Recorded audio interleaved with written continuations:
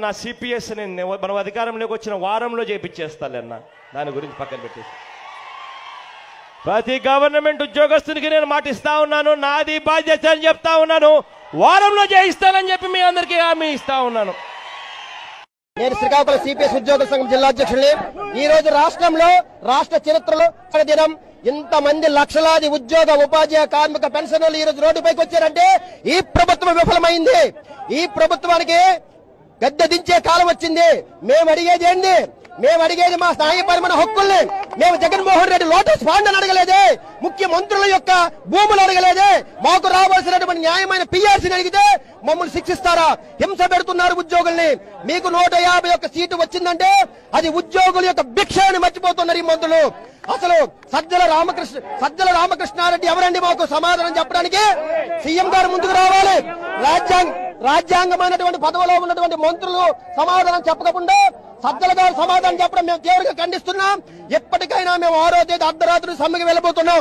మీకు డిమాండ్ చేసేది ఒకటే మా యొక్క నాయకత్వాన్ని చర్చలుగా పిలిచి మంచి వాతావరణంలో చర్చలు జరిపి మాకు ఆమోదయోగ్యమైన పిఆర్సీ ఇవ్వకపోతే ఈ రాష్ట్రంలో మీరే విధంగా అయితే పాదయాత్ర చేసి మా ప్రజలను మభ్య పెట్టి ఉద్యోగస్తులను మభ్య పెట్టి నూట యాభై ఒక సీటు సంపాదించారు.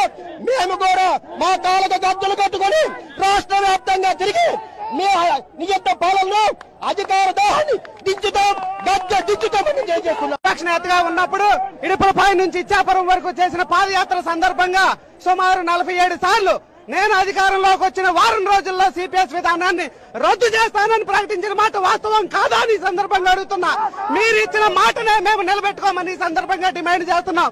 మీరు ప్రజాస్వామ్యతంగా మీ మేనిఫెస్టోలు ఏదైతే ప్రకటించారో వారంలో సిపిఎస్ రద్దు చేస్తానని అదే రెండున్నర సంవత్సరాలు కావాల్సిన ఈ రోజుకి సిపిఎస్ రద్దు విధానాన్ని మీరు ప్రకటించకపోవడం నిజంగా గర్వనీయమని సందర్భంగా మిమ్మల్ని కోరుతున్నాం. మీరు డిమాండ్ చేస్తా ఉన్నారు. ప్రభుత్వం జీవోలు రద్దు చేసే ప్రశ్నే లేదు ప్రసక్తే లేదని చెప్తా ఉన్న పరిస్థితి. సార్ ఇది సార్ ఇది ముందు ఇచ్చిన చంద్రబాబు చంద్రబాబు నాయుడు ఇచ్చిన పిఆర్సీ ఇది సార్. ఇది చంద్రబాబు నాయుడు ఇచ్చిన పిఆర్సీ ఇది జగన్మోహన్ రెడ్డి గారు ఇచ్చిన పిఆర్సీ చూస్తా ఉన్నాం. చాలా స్పష్టంగా ఉద్యోగులు ఎంత ఆవేదన ఎదుర్కొంటున్నారో ఆయన చూపించడం జరిగింది. ఇది చంద్రబాబు నాయుడు అంటే గత ముఖ్యమంత్రి ఇచ్చిన పిఆర్సీ ఇతనికి హెయిర్ లేదు. ఇది జగన్మోహన్ రెడ్డి ఇచ్చిన పిఆర్సీ అంటూ కూడా చెప్తా ఉన్నారు జగన్మోహన్ ఇచ్చిన పిఆర్సీ సార్. ఇది జగన్మోహన్ రెడ్డి ఇచ్చిన పిఆర్సీ సార్.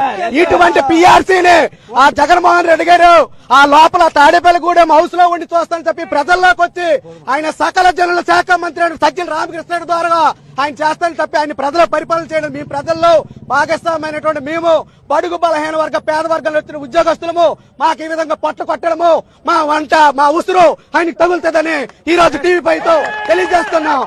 నిమిషం. మేము ఇచ్చిన పిఆర్సీ ఇది ప్రభుత్వ ఉద్యోగులు ఎన్నో కష్టాలు ప్రభుత్వం ఎదుర్కొంటున్నా ఈ పిఆర్సీ ఇచ్చామని ఇప్పుడున్న సలహాదారులు చెప్తా ఉన్నారు. మీరేమో ఇది చంద్రబాబు ఇచ్చిన పిఆర్సీ ఇది జగన్మోహన్ రెడ్డి ఇచ్చిన పిఆర్సీ అని మీరు చెప్తా ఉన్నారు. ఏంటి?